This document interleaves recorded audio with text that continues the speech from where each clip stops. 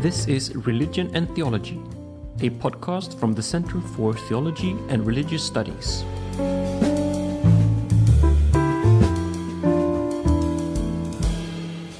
During a brief European tour, Professor Carl came to CTR and held a seminar on his new book, Neoliberalism and Political Theology From Kant to Identity Politics. Raschke is professor of religious studies at the University of Denver, and in this seminar, he will himself give an excellent summary and explanation to the ways in which the themes already mentioned in the title of the book unfolds and are discussed.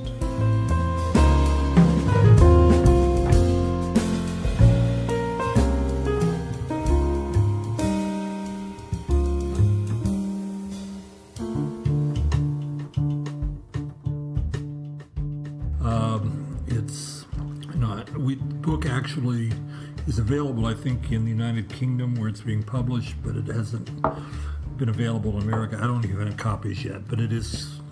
Its date of publication is this month, so it should be out any any time right now. So, so what I'm going to do today is uh, perhaps just kind of outline what the what the book is about to talk a little about the project. Um, the book was a follow up to the book one I published in 2015 with Columbia University Press, uh, which is called Force of God and the Crisis of Liberal Democracy.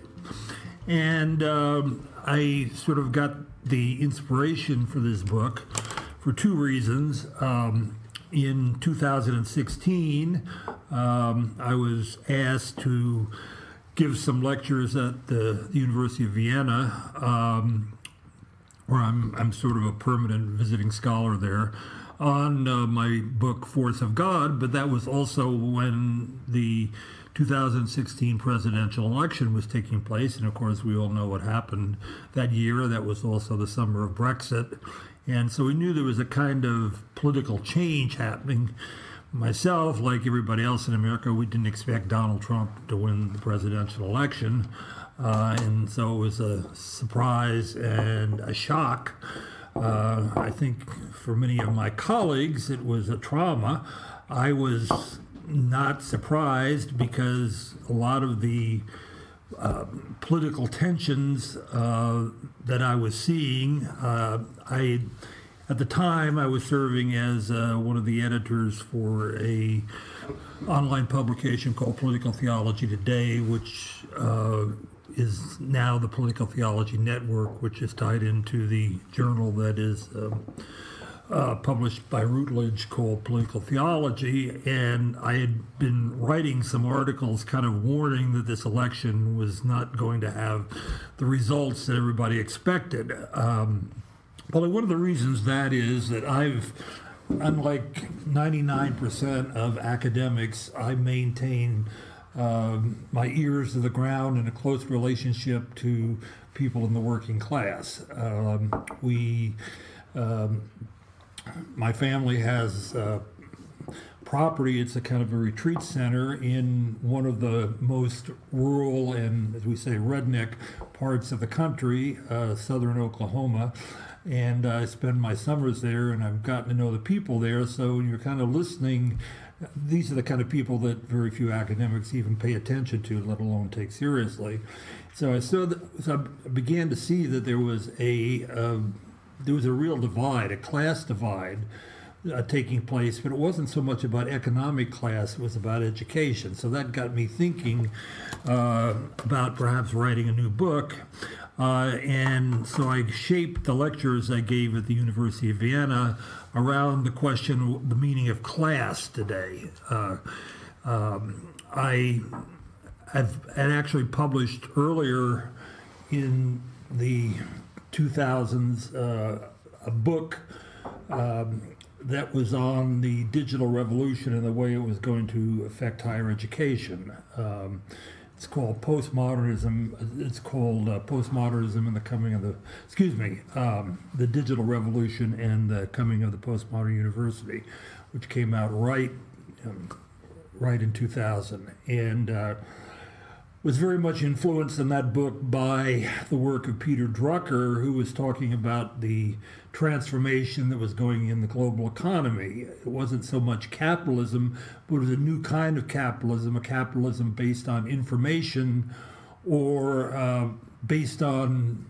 uh, capital that was essentially virtual, uh, not not factories and um, you know machinery, uh, but um, um, but chips uh, and software and uh, networks. Uh, and of course, the, the melt, the financial meltdown of 2018, um, excuse me, 2008, was because of the fact that capitalism had become etherealized. It had become virtualized. Um, the uh, so-called uh, um, um, SIVs, uh, special investment vehicles. Uh, uh, um, a number of scholars uh, have written about this. Philip Goodchild, who's a good friend of mine at the University of Nottingham, talks about this in his book Theology of Money.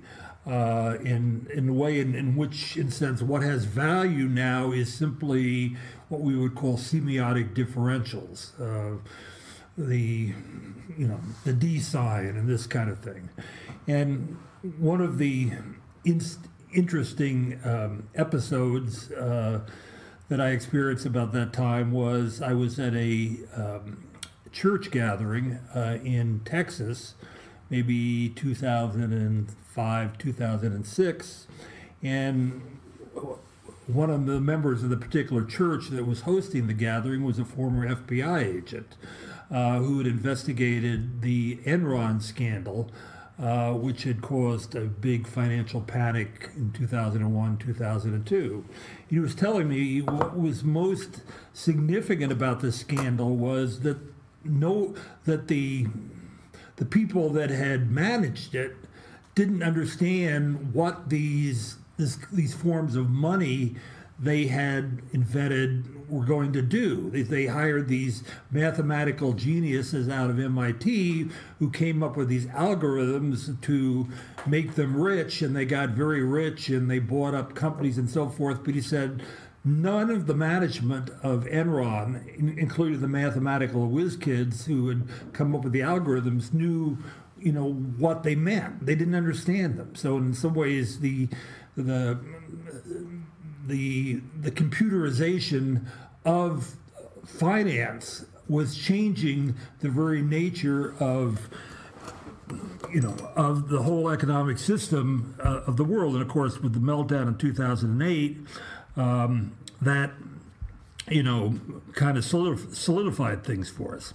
So I began to uh, connect these trends and phenomena and also my experience of the kind of class anger that I was seeing around uh, people who didn't have uh, much education.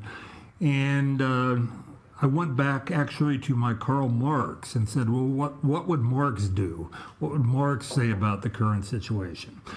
Um, so out of this came, you might say, the background uh, research and the original thought bites uh, for the book. But let me get into the book itself. So, in recent years, there's been a, a, slowly rising tide of academic works on the topic of what we call neoliberalism.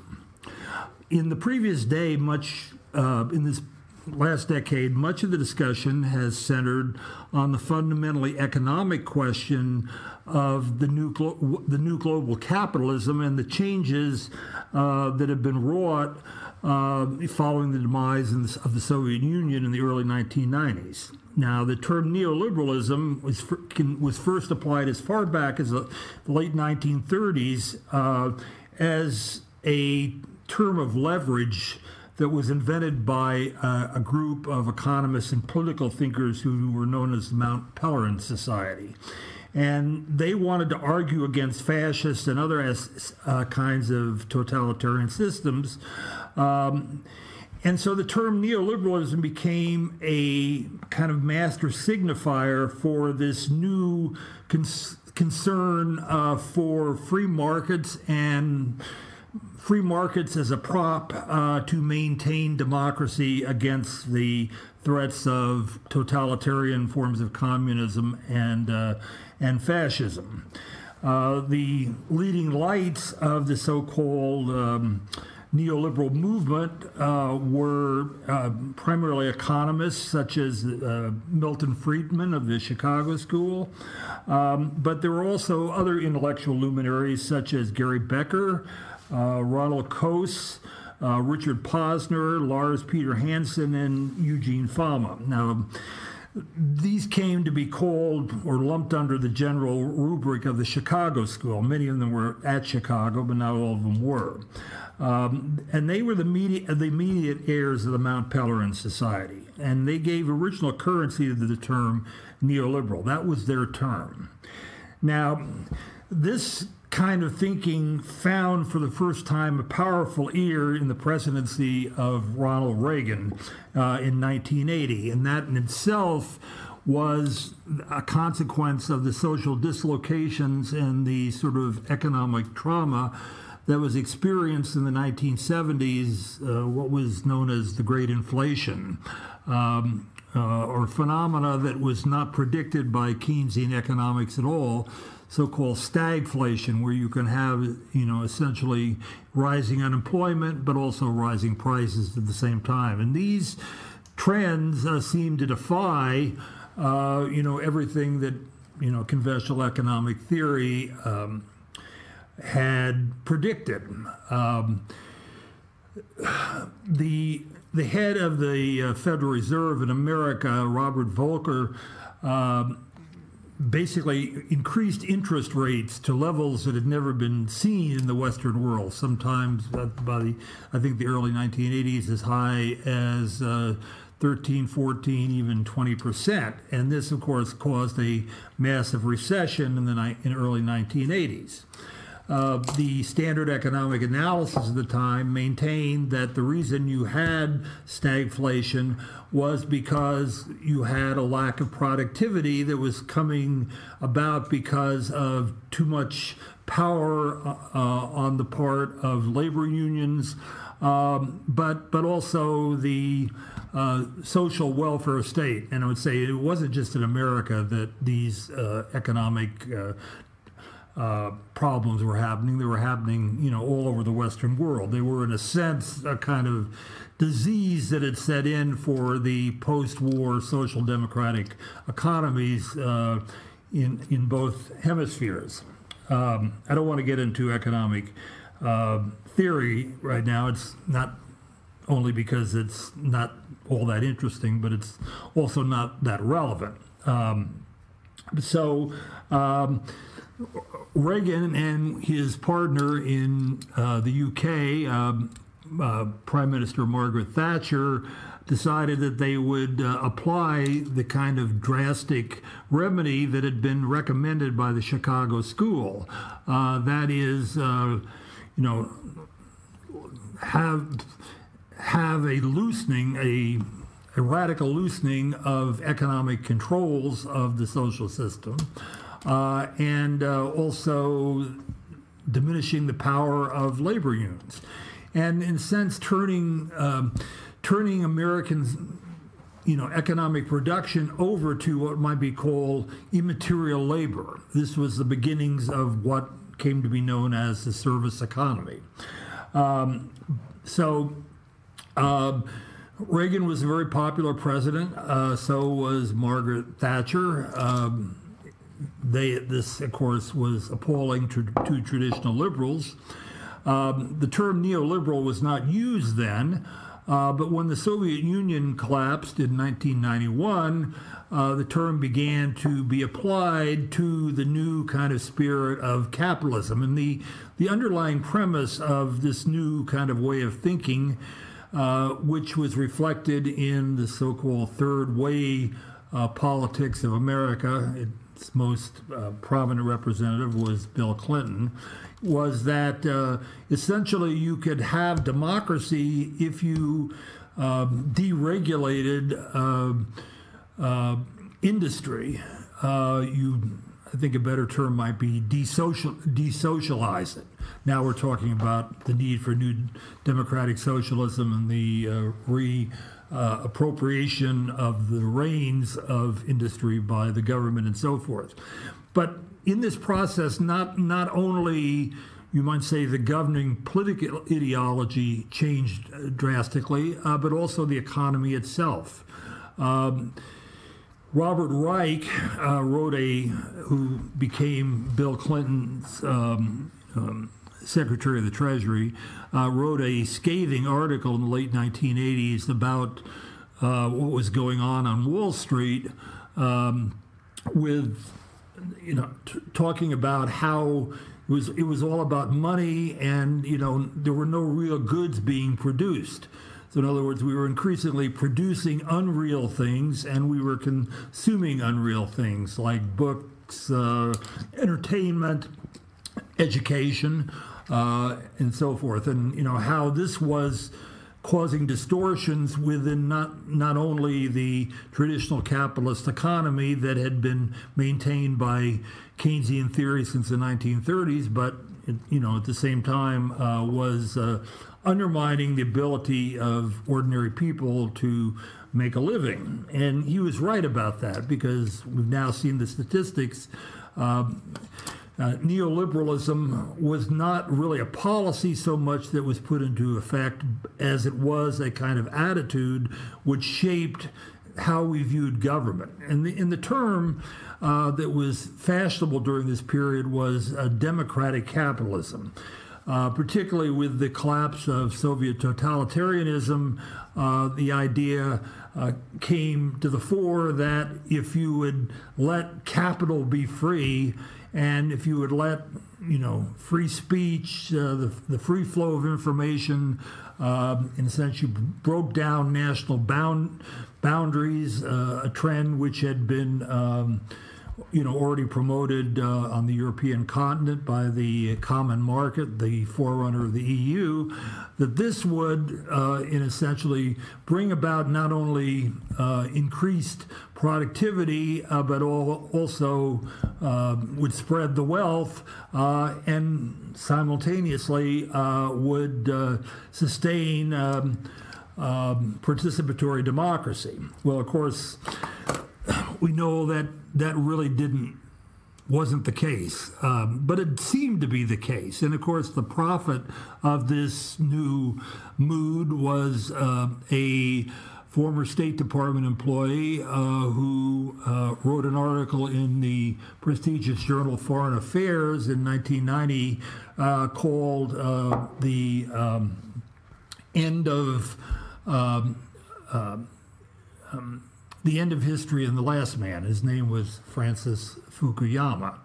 And this became, you know, kind of the manifesto for neoliberalism. Interestingly, uh, Fukuyama just published a book about two years ago uh, denying, you know, everything he wrote in 1990, but he always seems to be on top of trends because he he was able to diagnose, in many respects, um, what is wrong with neoliberalism. And in some ways, his analysis parallels mine in, many particular ways.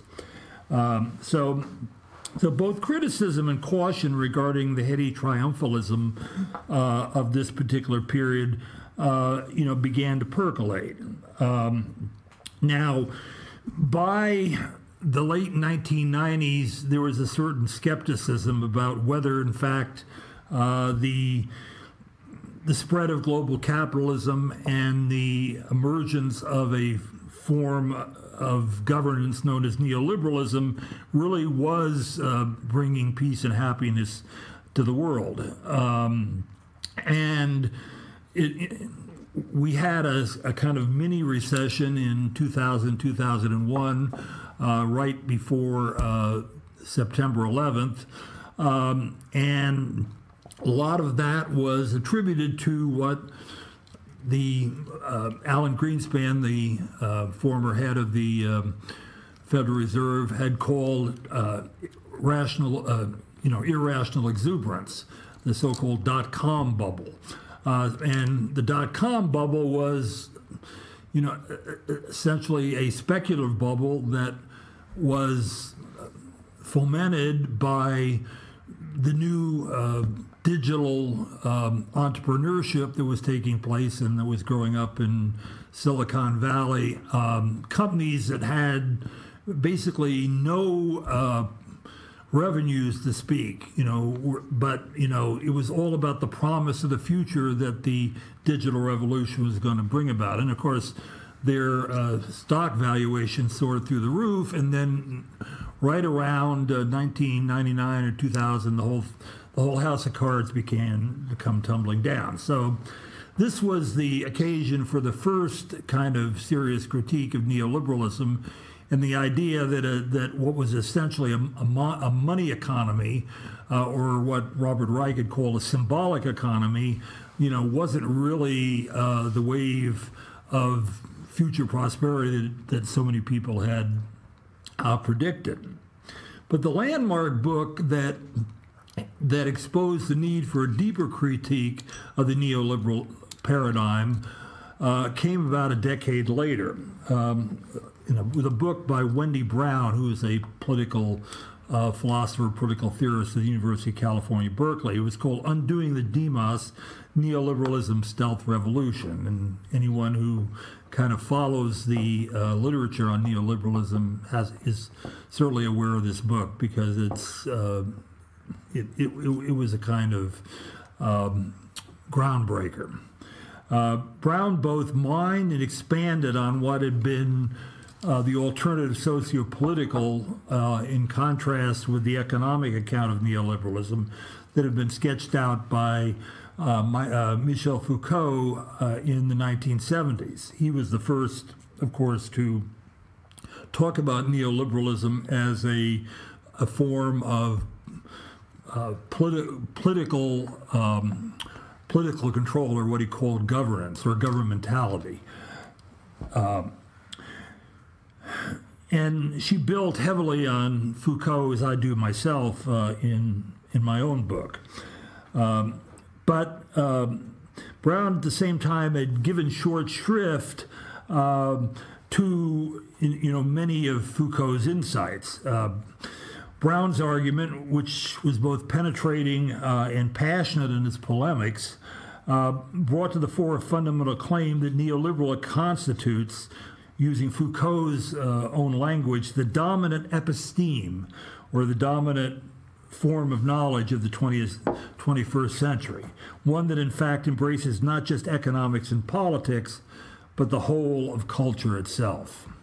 And so then came the summer of 19 uh, or excuse me, of 2016, which brought with it, like a, a violent Midwest Western storm cell, a sudden global groundswell of seemingly angry populist and nationalist uprisings at the ballot box. The weather line was not confined to the presidential election that year, um, as was signaled by the unexpected defeat of Hillary Clinton um, by Donald Trump. It also spread across Europe and certain regions of the developing world. Um, the press and the Western intelligentsia were aghast and sought to explain this tide as some kind of atavistic upsurge of darker political proclivities and anxieties, uh, routinely comparing trends in the 1930s and at times uh, mimicking the Frankfurt School's favored distinction between myth and enlightenment. Uh, but the comparison was more superficial than genuine. Um, it was not fascism, it was a coming apart of the whole kind of neoliberal order that uh, was cracking at the seams politically because it had already, uh, you know, fractured at the economic level. Uh, the Great Recession from 2008, of course, nobody knows exactly when to end it. We might say just arbitrarily 2012, um, was really the um, you know, the rallying point for those who became disaffected with neoliberalism, and I would say both on the right and on the left. Um, but th- this attempt to try to, you know, look back to the 1930s and, you know, saying that history was re- repeating itself, um, there was there was something that was not totally genuine about that. Uh, the comparison was more superficial than many people realize. Something else was afoot. and certain other political theorists, such as New School political um, philosopher Nancy Fraser, who had already established herself as a leading exponent of gender theory and identity politics, immediately saw hidden causal connections between the regime of neoliberalism and the, and the antagonism felt toward it on the part of the new populists. Um, uh, and, and and saw that some kind of new trend, which even um, Wendy Brown, who she criticized, had missed.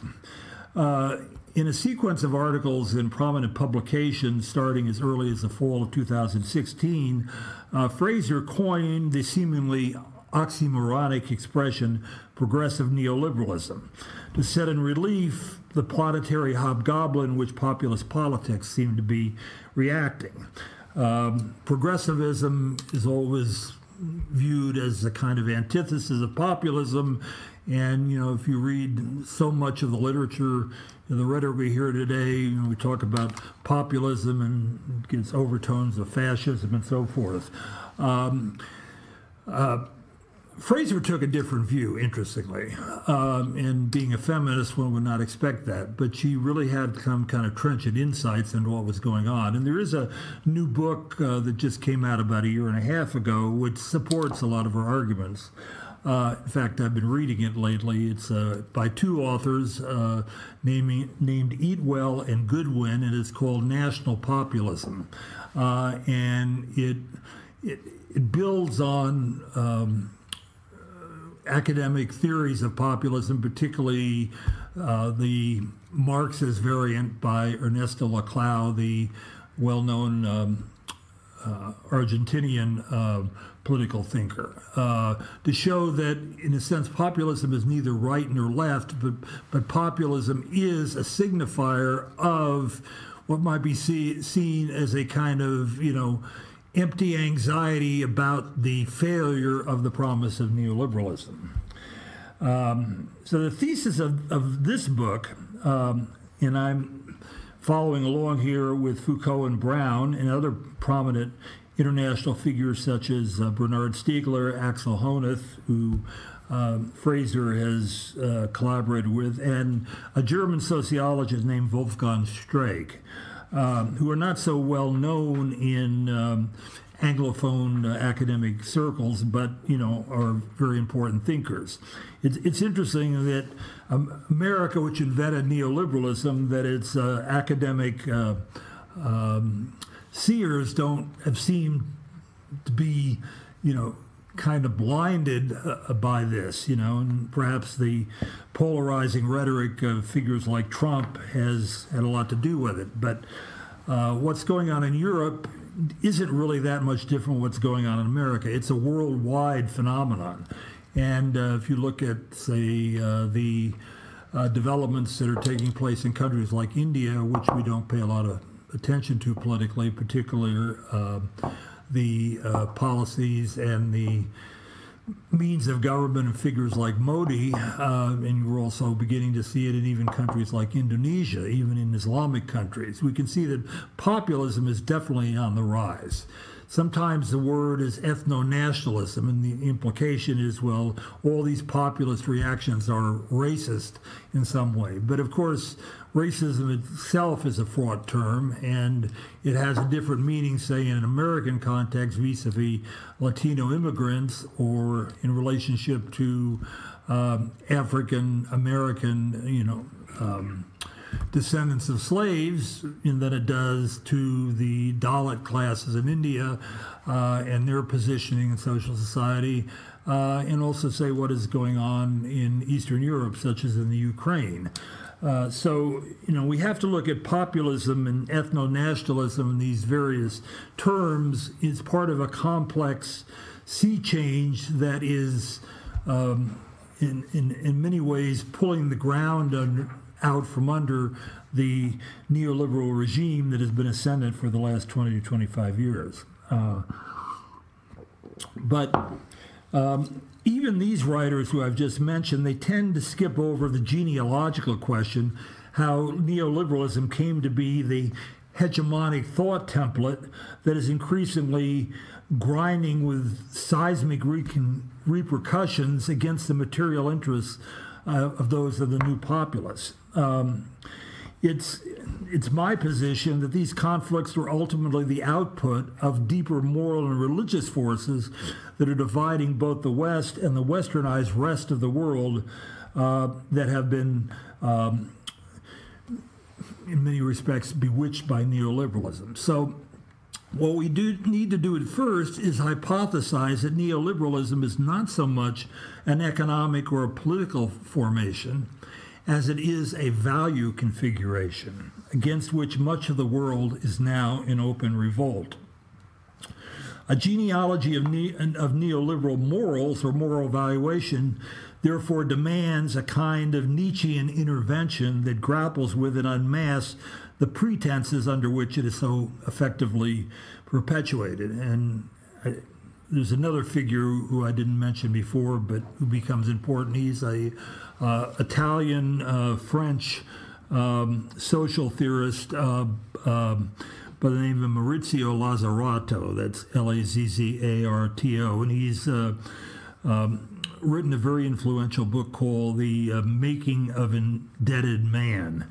Uh, he talks about neoliberalism as essentially in a form of indebtedness, and he relies heavily, uh, as does Foucault, upon Nietzsche's genealogy of morals. So uh, I'm, I'm, not sure to uh, what degree many of you are familiar with that book of Nietzsche's analysis, but it's, be, it's become a very important kind of theoretical strand in uh, the um, literature uh, on neo, uh, the, the, literature that critiques neoliberalism. The pre- pretense has been one of democratic capitalism in in tandem with a social ethics of cosmopolitan humanitarianism that conceals its underlying agenda of economic exploitation and, and predation. It, what I say is neoliberalism as a, you know, as a kind of moral outlook is the most recent version of Europe's civilizing mission, as it was called in the age of colonialism. Uh, civilizing mission to the so-called backward nations of the world, um, and uh, so it's not simply a new colonialism in the strict economic sense, though it is.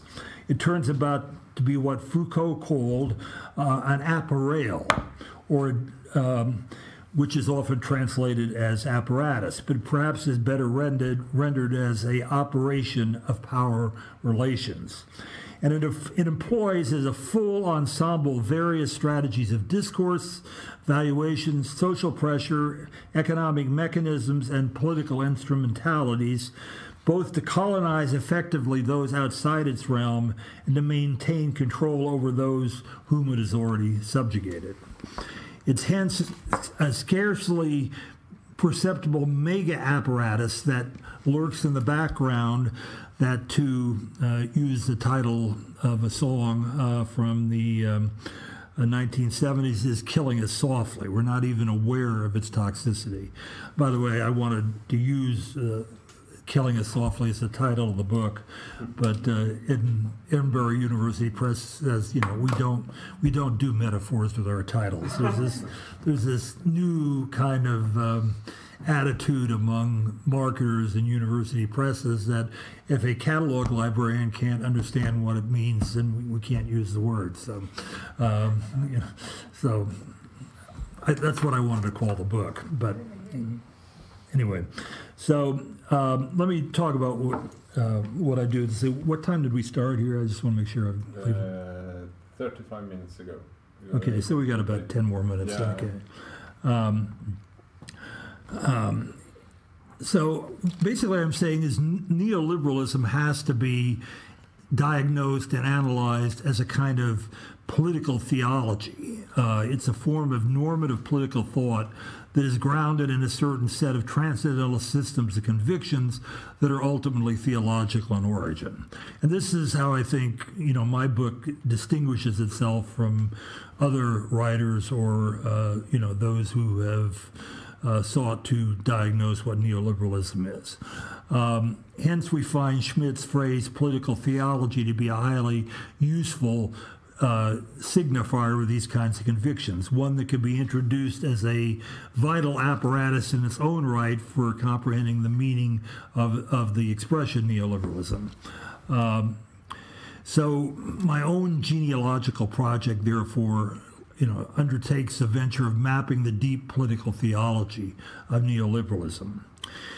Now, the, the first chapter that you've read, if you've read it, um, toward a gene- genealogy of neoliberalism roughs out a more capacious project of decoding neoliberalism as a system of signifiers in the fashion that Foucault himself undertook uh, in his greater work, not merely in his lectures from the 70s and 80s, but uh, um, subsequently in those who've interpreted them, laying the foundation of what we now call cultural studies, uh, along with critical theory. In some ways, I think you could consider this book uh, to be uh, a contribution to the literature of critical theory. Um, uh, the first chapter frames the question of neoliberalism as a wider cultural and political one. What Foucault hinted was the source of our new world, world disorder, what he called a crisis of representation, which is uh, a um, concept uh, that I use extensively in my book, uh, Force of God. Uh, I, I launch into a lengthy anatomy of this covert Leviathan. Um, in using in the in the Hobbesian sense there, uh, sketching the multidimensional makeup of neoliberalism, relying on the work of Lazzarato himself. Lazzarato has has, pinpointed the crucial interplay of of these signifying processes within the larger, larger operating system of neoliberalism that keeps it going. In other words, the reinforcing mechanisms of financial debt, which are um, in, in, many ways uh, uh, tied in with a, a, kind of psychological sense of debt, uh, moral obligation. And of course, um, this can be found in the um, the double the double meaning of the German word Schuld, uh, which is both guilt uh, and debt. Uh, and perhaps in Swedish you have a similar word. I'm not familiar with what your Swedish words are, but uh, the, the terms come from the Germanic languages. Uh, chapter two, which is on called Progressive Neoliberalism and its Discontents, characterizes the American presidential election of 2016 as a pivotal moment that threw into relief for the first time the contest between neoliberalism and the new global populism. It focused on the usage of the current uh, political term cosmopolitan and its origins in both ancient philosophy and 20th, and 20th century Mar- Marxist rhetoric. And it looks and it looks at the relationship between this as a kind of moral value system uh, and also as a economic project as being essentially what Antonio Gramsci termed the distinctive ideological hegemony of our day. More importantly, it links this sort of perspective with Nietzsche's own diagnosis in his unpublished works, uh, where he diagnosed what he called modern nihilism, whereby the highest values uh, devalue themselves. Chapters three, um, which I call The Kingdom, the Power, the Glory, and the Tawdry, uh, explores uh, Agamben's celebrated double paradigm of sovereignty, uh, introducing the Christian idea of oikonomia, economy, as a foundational political concept in Western thinking. In this section, I argue that Agamben's far-ranging discussion improves our understanding of how Foucault's, Foucault's notion of bio, biopower actually develops historically from the matrix of early Christianity and how it becomes its own kind of political theology to undergird the contemporary uh, forms of neoliberalism. Uh, for example, Foucault talks about the pastorate, and I would say that the neoliberal appareil or apparatus uh, functions very much like the Foucaultian pastorate. Uh, it basically enforces a, va- a value system, a, a, a, scheme of transcendental obligations, which everybody, you know, feels, you know, obligated to and uh, feels debt from, not only economic debt, but moral debt. Uh, in chapter four, uh, which is entitled Killing Us Softly on Neoliberal Truth Pro- Protocols, I return to Foucault and um, briefly concerning what he calls the problem of erudition or truth telling. I make the case that neoliberal truth claims um, can be traced all the way back uh, to Descartes with his uh, vision of a mathesis universalis, of a kind of universal way of mathematizing, or today we would say of digitizing knowledge, uh, making it binary and making it effective for the transformation of the human condition. And here I bank heavily on the insights of, of uh, Streeck, uh, Wolfgang Streeck, and the French social theorist Pierre Bourdieu to elaborate on what is entailed in what I call these neoliberal truth protocols. It's these kind of protocols, along with the politics inherent in them, that have kept capitalism alive all these centuries. That, that's Streeck's argument. In addition, I explained through historical observations how so called progressivist politics from its very beginnings in the 19th century have always earmarked neoliberal prototypes of governments, and how such politics is inextricably bounded, bound up with such truth procedures. Uh, and finally, I take up the matter of what is called moral cosmopolitanism, cosmopolitanism and its intimate relationship with colonialism and the market driven expansion of the new forms of global capital. And here's interesting this is kind of probably the most contentious move I make. I single out the uh, the 18th century German philosopher Immanuel Kant, on whom I did my dissertation many years ago, um, to be in regards to the authentic gray eminence of neoliberalism.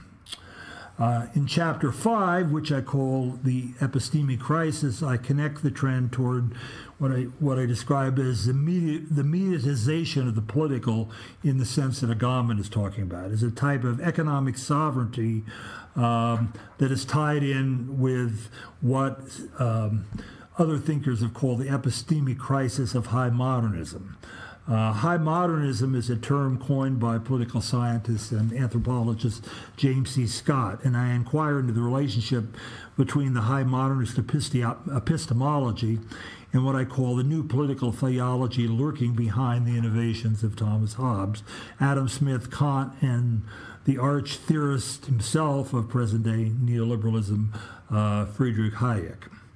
Uh, in chapter six, which is entitled Globalism, Multiculturalism, and the Politics of Recognition, I come back to Fraser's idea of progressive neoliberalism and show how its signature theme, that is identity politics, has devolved from the speculative philosophy of Hegel uh, throughout uh, the New Left Marxism in the 1960s and 70s, ultimately having been absorbed and captured by the neoliberal agenda.